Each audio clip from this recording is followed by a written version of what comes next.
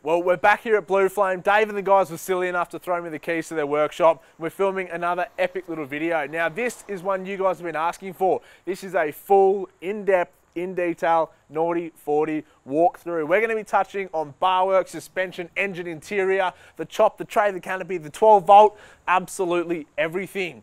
It's going to touch all bases, the ins and outs, and all the nitty gritty. But before we do anything, I need one thing from you guys. I need you guys to go down below and hit that subscribe button. And if you're feeling fruity, hit the notification bell and even drop me a like so I can keep making sick videos for you guys. But it's enough of this. Let's get stuck in.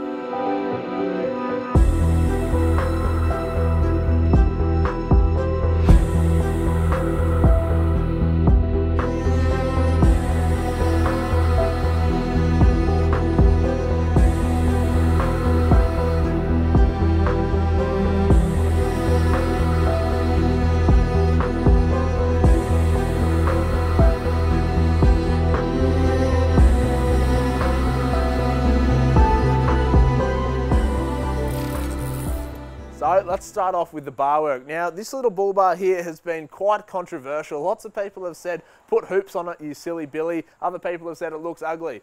Uh, you know what I think? Well, I like it, so I don't really care. This was made by Brutal Bars and Fabrication, a mob up in Queensland. Um, it's a replica, I guess, if you like, of a uh, bull bar that Kinsella Customs made a few years ago that was on Mikey's rig. A lot of you probably know it and probably think, looks a lot similar. That's because it basically is. Now, mounted to it, we've got a STEDI ST3303 Pro light bar, 11 inch, more than enough light for the kind of driving I do. It's absolutely fantastic. Below that, we've got the Runva 11XP Premium 12 volt winch, synthetic rope, Dyneema. This is a, uh, well, I guess it's like a comp, comp winch, high mount winch, crane hook, that kind of thing. Um, just to change it up a bit. No one likes little winch hooks. It's annoying to put a strap on it, so a big one of those makes a big difference. We've also got the GME 6.6 dBi UHF aerial, which goes to the XRS Connect in the car. Talking sliders, we've just got a uh, custom set of sliders made by Ausbuilt 4x4, the same company that did the Ute conversion. Now, they are a custom length, obviously, to suit the space cab chop we did, or the extra cab chop, um, and they are absolutely sick. They suit the car perfectly. And up the back, being a Ute, there's no rear bar per se, but we do have a weld-in rear cross member that incorporates a tow, uh, a tow hitch or a recovery hitch. So that pretty much sums up the bar work. I would love to get some scrubbies and a little bit of a rear hoop going on to cover those um, rear toolboxes, but for now, that's what we have. I reckon we open the bonnet and we talk about engine while we're up the front. So, this is where the party is in here. So, what's the car? I guess is probably a good thing to answer. It's a 11th month 92 Toyota Land Cruiser 80 Series HDJ. Um, which means it's got this motor in it. This is the factory turbo diesel 1HDT motor. It's a 4.2 litre straight six, and uh, as a stock standard unit, they leave a lot to be desired, which is why I've done what I did. So I guess motor-wise, there's not a lot that hasn't been touched. It's got a Safari intercooler front mount, um, which helps keep everything cool. It's got an ADS injection, 200 horsepower, 12 mil fuel pump. The motor itself has been fully rebuilt with all Toyota internals. So it's also got ARP head studs in there. And why do we have those? Well, because we're running a fair bit of boost. It's got a G-Turbo Grunter Extreme turbo fitted, which has got about 27 PSI boost up its bottom. So it really does get up and boogie. So other supporting mods that help everything along is the Radius Fabrication 4-inch airbox, which of course goes into the 4-inch uh, Radius Fabrication stainless steel snorkel. Um, other bits and pieces, uh, it's got a Clutch Industries 4-terrain 1000 newton meter clutch kit in there, which keeps everything, uh, all the power down, which is fantastic. It's also got a high flow thermostat and all the usual fruit. It's also got a Manta 3 inch custom exhaust down there, which helps this thing boogie along and stay nice and cool. Um, over in the other corner of the engine bay, there's things like the uh, ARB air compressor for the lockers, diff breathers, all the essentials, and obviously you can see the dual batteries here, and there's a third battery in the back of the car as well. So the front of the car, the front suspension, there's a fair bit going on, and uh, it's all for a very good reason. That is for practicality and capability off-road. So the front suspension is pretty exciting. We'll start off with the main thing, which is the diff. It's been fully braced by Matt Kinsella at Kinsella Customs. I'm talking uh, the top half of the diff has all been braced as well as both sides of each knuckle, uh, which is pretty important. And while he was doing that, we also did the radius arm flip.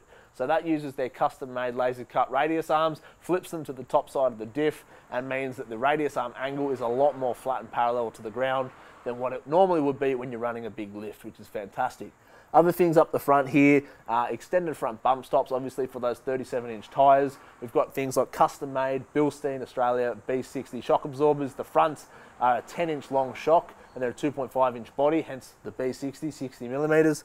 Um, we've also got a prototype Fulcrum Suspensions front steering dampener and uh, we've also got a ramped customs alloy Heim jointed comp spec front adjustable panhard rod in there too to help keep everything straighty 180. Coming around to the side of the car, we're going to talk wheels and tyres. This is another very controversial topic that you guys love to talk about. So let's talk about it. Wheels are a dirty life roadkill. Now these are a 17 inch by 9 inch, negative 38 offset. They're a full true alloy beadlock. We just had them here fitted at Blue Flame Automotive and they're looking absolutely a million bucks. Wrapped on those are a tyre that you would have seen in a few of our previous videos. These are the Maxxis Trepador. They're in a 37 inch by 12.5 R17 size. They're the bias compound, which means they are sticky as all hell. They're basically a competition tyre and they absolutely set this truck off. They're amazing off-road. I have not a single bad thing to say about them. We've also got the AVM part-time kit uh, installed, which means when I'm putting around the road, it's rear-wheel drive. When I get to the tracks, I lock the hubs, hit a button inside, and we've got four-wheel drive. And in here you can see the springs. It's a four inch lift all round in terms of springs. The rear's a three inch just to help the car sit level. Um, and also under here, it's going to be hard to show you guys, but we've also got the STEDI RGB rock lights, which are mounted up in the wheel wells, under the sliders, under the bull bar, in the rear arches, which are obviously those rainbow coloured party lights that we all love to post on Instagram. So having a look at the side of the car, you can probably see there's one big change uh, from a lot of photos and that kind of thing you would have seen on the internet already, and that is the ute chop. Now this was carried out by Justin and the team at Ausbuilt 4x4 in Canberra, and they did a fantastic job. We fixed a bit of rust, we plated in some holes, we did the ute conversion to what is effectively a space cab, um, and we also got a full respray. Obviously you can't see that it's wrapped, but underneath the wrap is gorgeous, gorgeous paint, which is fantastic. Now, the guys did this in a ridiculous time frame. We went from a wagon to a finished ute in around a month. So it really was no easy feat and it's turned out a million bucks. Um, the team at Auto Artisan are responsible for this wrap creation. It looks fantastic. Obviously, Sparesbox, who I work for and who have supported me from day one. Uh, and they even tinted the windows while it was in getting wrapped. So the whole look has come together with this wrap. It's sort of what I'd always envisioned, this dark black on black, bits of greys and occasional pops of colour and I reckon it looks pretty trick. Up the back is a MITS alloy canopy and tray which I'll touch on shortly but I reckon while you're here we should have a look inside. So welcome to my office. This is where I spend an awful lot of time travelling up and down the east coast doing bits and bobs, daily driving, the works. So I obviously had to make it a fairly comfortable space to be in, practical, and uh, also just generally user friendly. So we've got a fair bit going on in here and I'm gonna try and remember everything we've done. So starting behind me, because I know I'm gonna forget it, is uh, the one stone armrests. These are for a 76, 79 that I modified to fit. These make a huge difference when you're doing those long drives. Um, other things I've done are the uh, VX Commodore door cards actually so that you can fit front speakers uh, and also I keep all my shackles, my tyre deflator and that kind of thing down there. Now this thing I'm leaning on here is obviously not a Land Cruiser seat is it? This is an XR Falcon seat. Um, compared to the standard seats that come in an 80 series, these are pretty good. They've got adjustable bolster support. They uh, hug you a fair bit better and they are much more comfortable. I've got a set of uh, Razorback seat covers coming as well, which I'm super excited about. They're neoprene seat covers that are going to help keep these protected and also totally waterproof. Technology wise, this car has got a lot crammed into it. For a 30 year old car, there's a fair bit going on. Starting off the team at uh, Power Vision Sound, PVS Automotive, hooked me up with their 200 series uh, graphite limited edition steering wheel, which is fantastic. Uh, and they've also given me their rear vision uh, computer system, which is fantastic. It's a little Android unit. It's got a reverse camera, a dash camera. You can run maps, uh, YouTube, internet, all that stuff off it, which is fantastic because obviously since we chopped it into a ute, The uh, factory rear camera is, well, it's as good as useless. In terms of gauges and other interior technology, uh, in this region over here, we've got a couple of automated gauges in a 4x4 Concepts pillar pod. Um, we've just got EGT and boost so that I can keep an eye on everything. We've also got a wireless tyre pressure monitoring system by DriveTech 4x4. Uh, we've got the Sunland dash mat, which I love. When you're doing dusty forward driving, it just helps keep the dust and the glare off, which is fantastic. Jumping down here, we've got a whole raft of STEDI rocker switches, which are for all the auxiliary lights and that kind of thing fitted to the outside of the vehicle. We've got the XRS 370 Connect UHF, which is fantastic. All the controls are right here in your hand, made in Australia. They've been long-time supporters of Sparesbox and myself, which is absolutely fantastic. And we've also uh, converted the factory single DIN uh, to a really nice Pioneer double DIN unit, which has got Apple CarPlay, Android Auto, all that kind of stuff, which is really fantastic. Bluetooth functionality, all the good gear. Coming over here, we've obviously got the Dometic CF11 center console fridge freezer. It is a true compressor driven fridge freezer, which means I can set this down to minus 15 if I want. And I have in the past taken ice cubes, icebox to Redhead Beach in this little guy. It keeps everything frozen, which is fantastic. Other bits and pieces are obviously masks, important, COVID. Always take your mask everywhere. Down here, we've got switches for other bits and pieces, the rock lights, the compressor for the lockers, and also front and rear uh, locker switches there to keep everything Mickey Mouse. I also use a quad lock, it's worth noting. I love my quad lock phone case and holder. I've got it on the motorbike, I've got it in the 80. Absolutely fantastic. And other than that, in here, that's pretty well simple. Uh, the interior, the back wall, I'm gonna be honest, it's not perfect, and that's because when we chopped the car, I basically ran out of time and I had to uh, skin the rear wall myself. So uh, that is how it is for now. It's got a rear window, which I really like, but I will be looking to get that reupholstered soon. But other than that, in here, it's pretty, pretty, you know, as Toyota had. I put the speakers in, the sound system goes well, and behind these seats is a little bit of space. We did the king cab or the space cab, I guess you'd say, uh, because single cab it just doesn't quite look right for me. I wanted a little bit of space behind this uh, B pillar, and it also means I can keep things like beach towels, a bag of clothes, bits and bobs, that kind of thing. I've got an ARB twin compressor coming that I'm going to be mounting behind the passenger seat one, uh, and with the XR Falcon seats, they actually fold forward and slide forward, so access is a breeze. Talking of uh, attractive 12 volt and goodies inside, I reckon we go have a look at the tray canopy have a look inside the canopy. Obviously, an 80 series is a wagon, normally with seven seats, and this one here is not a wagon and it only has two seats. And that's because we turned it into a ute. And what do you get when you have a ute? Well, you need a tray and a canopy if you're going to live out of it and you're to wheel it. So that's what we have here. This one is a full alloy setup by the team at MITS Alloy up in Newcastle. Again, long-time supporters of both Sparesbox Full Drive 24-7 and myself. Very generous, the team up there, and they have put together this fantastic creation that uh, is a little bit different to a lot of single cab utes that you'll see out there. And that's probably most obvious is the space, the length of this thing. I always wanted a short, short setup. When I did this chop, I wanted it to be short, aggressive. I wanted maximum departure angle. And uh, when we put the 37s on, while it was getting chopped, we even bobbed the chassis, which is worth mentioning. We took 360 millimeters out of the rear of the chassis. We did sacrifice the sub tank in doing that, but it was a sacrifice I was willing to make. It was only a 40 or a 45 litre tank, which is uh, a compromise given that I've got the two 40 litre jerry cans uh, on the back um, which really doesn't bother me. Having to get out, chuck a jerry can in the main fuel tank, I'm not too phased. Now this is all Australian made, lifetime warranty. MITS do an absolutely fantastic job. Um, we got them to make the tray 1400 long, which de uh, ends dead in line with the back of the chassis. The canopy is 1200. We've obviously got a full-size trep spare mounted in the center and two jerrys either side. We've got the STEDI work lights up on the top of the canopy and also at the back side of the uh, tray there as reversing lights. And in here, or in here is where it gets really exciting. So this is my home away from home. And I say that because it's got pretty much all the luxuries that a house would have.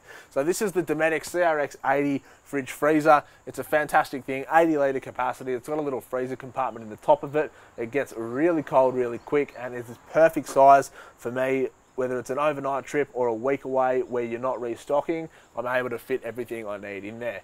Up the top, we've got the kick-ass 12 volt travel oven, which is fantastic. Gets up to 180 degrees, which means roadside meat pies, sausage rolls, roasts, reheating last night's leftovers, all that goodness is as easy as turning that dial on which is again fantastic.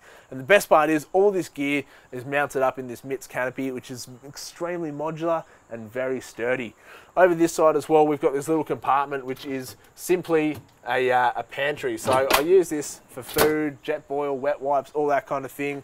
And then coming out the bottom is a little prep table. So you can cook all your meals here, you can set up your Jetboil, do your morning coffee, all that business, which is really fantastic.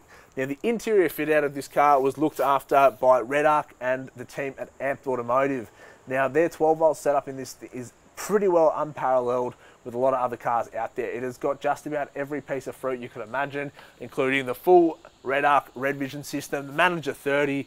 We've also got a 150 watt Redarc rigid monocrystalline solar panel on the roof and a stack of power outlets over the other side which I'll tell you about. So over this side is less so living, more so storage. We've got this big slide out uh, drawer, which I keep all my cooking gear, all my living stuff, cleaning, uh, tent pegs, a couple of tools, bog roll, paper towel, all that good stuff. Uh, it keeps it nice and tidy and organised. I also utilise the Drifter uh, Australian made clear top canvas bags in all the drawers in this car. It just helps keep everything organised. You can see where it all is, protected, less rattles, that's what I'm after. That's what I want.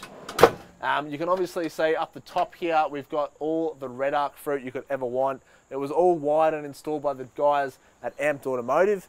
Um, the 12 volt in this car, I've got a 2000 watt inverter, I've got the Manager 30, I've got solar, I've got all the fruit you can imagine. I've got the road, uh, the road power switch panel. I've got just about everything, guys, in terms of the 12 volt. The best part is that I love about this is this cable here. I can just pull out of this little nook and plug that straight into a power point at home if I'm going to park the car up or if I know I'm not going to be driving it for a week or more, I can plug that in and it's going to keep all my batteries topped up and charged. Talking about batteries, how many do I have and where are they? You saw the two under the bonnet before. One was a cranking battery, one was an auxiliary battery, and that battery is linked up to one that's behind uh, the fridge in this car. So I've got 270 amp hours of AGM battery on this vehicle, one in the canopy, one in the front, and it's all controlled by that uh, Manager 30 with the Red Vision screen. It's all controlled, it's all charged, it's got solar. It really is a sweet setup. I haven't found I need any more power and I've never run out of power. So it really is the perfect setup for me and all the gear I do. I've also got things like the Narva fuse panel, all these Narva lights and all that kind of gear. The Narva uh, USB switches and that kind of thing throughout the car too because Narva is again a very top quality product. I reckon while we're over this side, we should have a look at what's going on the rear suspension. Before we quickly talk about that rear suspension, I thought I would just mention the back of the car. So obviously the two jerry cans to make up for the uh, lack of sub tank, and I've opted for a full blown spare setup. I'm talking a beadlock spare, I'm talking a 37 inch trap. Why? Well, because why not? Also with the MITS tray, one of my other favorite features about it is this trundle drawer, which means I can keep all my large, bulky, heavy, dirty items out of the inside of the canopy. I've got all my spare parts, tools, ratchet straps, sprays, oils, filters, all that kind of stuff kept in here. They have this lift up top, which is fantastic, which means you can put things like a Weber on here, a cooktop, and that kind of thing, and it really just maximizes your bench space. It also has a drop-in divider, which means you have a wind deflector, so if you're cooking in windy environments, that kind of thing, you can whip that out, and you're not gonna have that much of a drama. Down here, we've also got more of the STEDI work lights and that kind of thing, which are fantastic. They can uh, all be switched from either inside the canopy or inside the cab of the car, which is great. Uh, it makes a huge difference when you just want to back up in a nighttime campsite, when you're wheeling those tough tracks at night and you can't quite see what's going on behind you. It really does make a difference. And then up in that top left corner, well, that's the PVS Automotive reverse camera. So that means super wide, super wide angle of vision, which means I can see everything that's going on behind me and uh, it all goes through to that rear view camera computer system. So I can see what's going on, which is a big thing that a lot of dual cab and single cab ute owners don't have the luxury of doing. So I highly recommend that. I reckon let's talk about the suspension. So now we're looking at the rear suspension, which is fairly similar to the front. Uh, we've got those three inch coils. Again, the front's four inch. It helps the car sit level, which is what I'm after. We're still running a rear sway bar, which is important to note with the superior engineering extended sway bar extensions. Um, the front is not currently running a, uh, a sway bar. I find it just helps the car a little bit off road I haven't found it too unstable daily driving and that kind of thing, so it's probably going to stay that way. In terms of uh, control arms and that kind of thing, trailing arms, we've got adjustable uppers and we've got plus 11 extended uh, or longer lower arms, which uh, helps push that diff back and get it back into a nice factory position when you do lift them high. That is the downside. Uh, again, those three inch coils are held in place by a Superior Engineering coil retainer. Um, and that is needed because we're running again those custom Bilstein B60 shock absorbers in the back. They're 12 inches long and again 2.5 inch body. And at full articulation, the spring does become loose. So those coil retainers help keep everything in uh, in order. We've also got extended brake lines front and rear. We've got extended brake proportioning valves, um, which again is all stuff you need for this size lift. I haven't had to run a uh, tail shaft spacer, which is important to note as well. I've never had a problem with it. Uh, and this car's been at this height for a little over three years now. Um, another thing to note while I'm down here and talking about driveline is I'm still running the factory diff gears, which is 411 ratio, which on 37s is a little bit sluggish. I'm probably going to be looking to change to a 456 diff ratio just to help it off-road and help it get around and get up and boogie on the road. Um, and the other thing that I'll mention is while I'm down here is to help it off-road with those 37s and just to help it off-road in general. The team here at Blue Flame Automotive fitted a set of Marks four-wheel drive reduction gears uh, which have helped really slow the crawl speed of this car down. Being a manual and that kind of thing, it, uh, that's absolutely transformed how it goes off-road. So the last thing to mention is bigger tyres, heavier wheels, more power, you need to stop better. So we've upgraded the braking system of this car. Uh, it's got a full Disc Brakes Australia DBA setup. I'm talking the heavy duty T3 slotted vented rotors as well as the DBA XP extreme performance brake pads which have been used in street cars and race cars alike. So in terms of braking this thing stops pretty well and it'll even lock up 37s on the road which is pretty impressive. Now guys that's pretty much a full walkthrough of this vehicle. If you have any other questions, if I've missed anything, anything that you want to talk about, leave a comment below and I'll try my best to get back to you. If you've loved what you've seen, make sure you subscribe, leave a comment, smash that like button, check me out on Instagram, do all those good things.